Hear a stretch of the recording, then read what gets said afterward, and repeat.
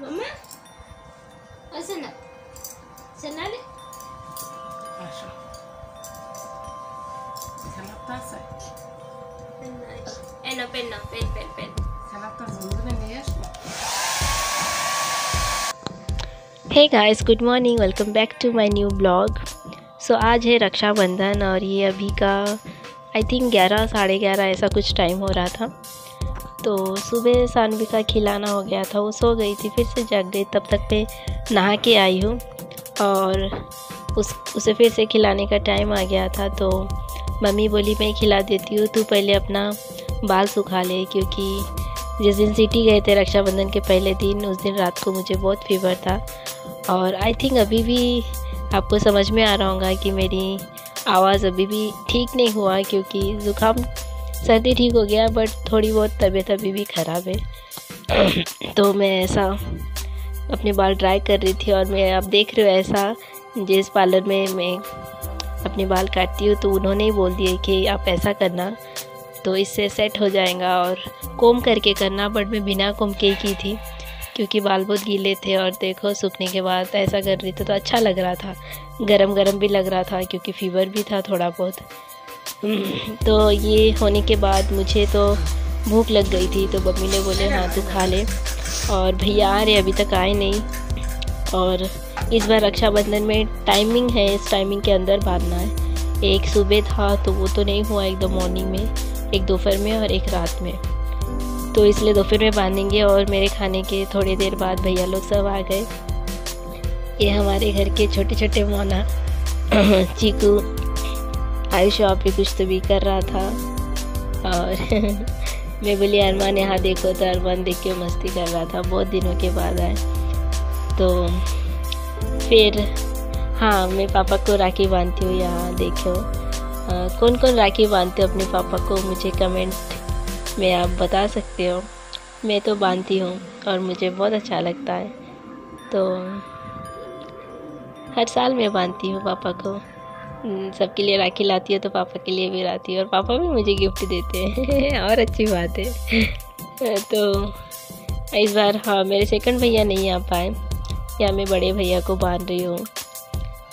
तो सेकंड भैया next year आएँगे। तो ये है मेरे वाइट शर्ट पहने मेरे बाजू में मेरे सेकंड भैया। ये लास्ट ईयर का पिक है और इसलिए मैं यहाँ पे याद की। और लास्ट ईयर इस वक्त मैं प्रेग्नेंट थी।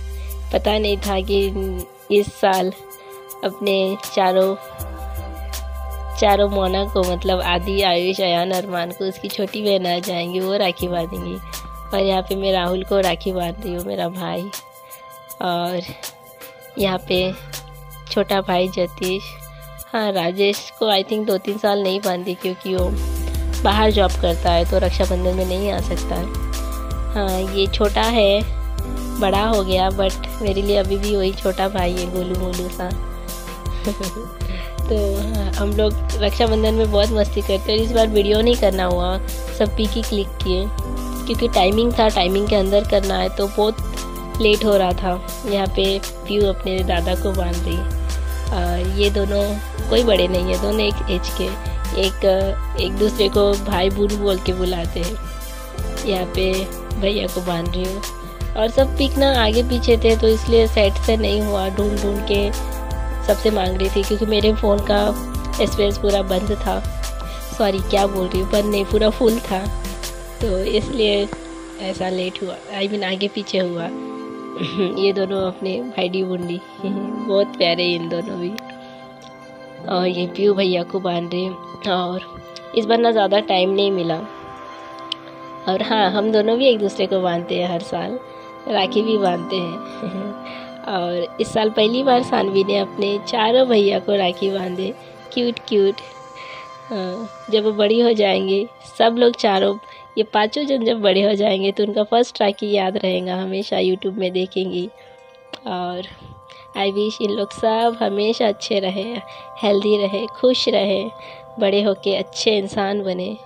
और ये देखो, सानवी का न्यू गॉगल उसकी मासी माँ ने ला दी तो वो भी बहुत मटकती है हाँ बस तो पोस देती चुपचाप हिलाती नहीं। और यहाँ पे भैया उसको बहुत खिला रहे थे कि उसको झूमर बहुत पसंद है। बोले झूमर कहाँ है? तो ऊपर देखते तो भैया हिला रहे थे उसको। और यहाँ पे देखो उसके मामा उसको हमेशा ऐसा घुमाते এটা পুতুল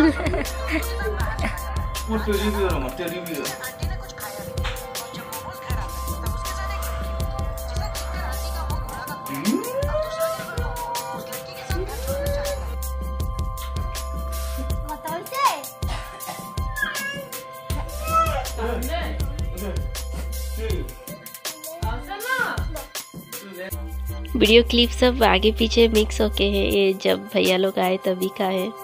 और यहाँ पे आदि, आयुष सब उसके बूनू को देख रहे हैं। इस पहले जैसे ही आए तब तो बस ये मुझे लेना है, मुझे लेना है बोनी को, बुनू को, बस। ऐसा ही मस्ती कर रहे थे। तो फिर अभी आदि यहाँ पे बैठ के भुट्टा खा रहा था और भैया उसके साथ मज़ाक कर रहे, खेल रहे थे। भाभी बोल रहे, मुझे दो तो भैया दे ही नहीं रहे थे।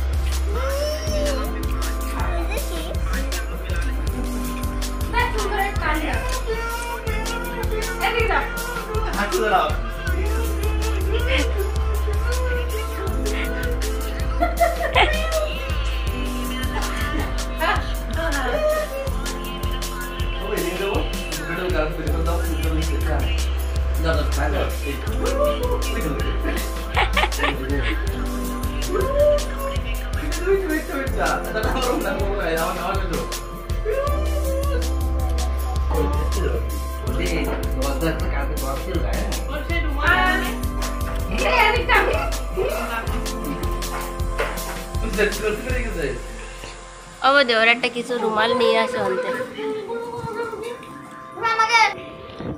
कितना अच्छा लगता है ना सब सब लोग मिलके एक साथ रहना।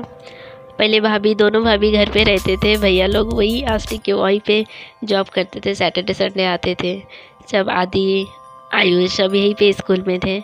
फिर हमेशा कितने साल भैया अकेले रहेंगे? फिर भाभी लोग को मम्मी बोले, आप, अभी आप लोग भी अपने अपने घर जाओ, अपने अपने जगह जाओ। फिर अब भैया के वहाँ ऑब्वियसली ना, भैया कितने दिन अकेले और खाना बनाएँगे अकेले? तो भाभी लोग सब वहाँ पे चले गए और फिर आदि आयुष यहाँ पे रहता था, फिर आदि को भी लेके गए। और वो क्लिप के बाद मतलब भाभी भी अपने भैया दोनों भाभी को अपने घर छोड़ के गए कि भाई, भाभी भी अपने भैया को बांधेंगे, दोनों भैया। और ये जाने के नेक्स्ट डे के सुबह का सुबह का वक्त है। भैया सुबह उठ के मेरे पास आए उठ ही क्या? मतलब भैया उसको लेके घुमाएँगे। भैया को पता है कि उसे घूमना पसंद है। और भैया सुबह सानवी को घुमाने के बाद दोनों भाभीियों को अपने घर से लेके आए।